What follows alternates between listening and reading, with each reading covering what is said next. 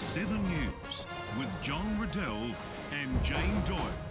The Royal Adelaide Show is always a great day all week out with plenty of things to keep all the family entertained. And with the 7 News Experience set, recording some of Adelaide's hidden news talent, it's even better. Let's cross now to our correspondent at the showgrounds. See you soon.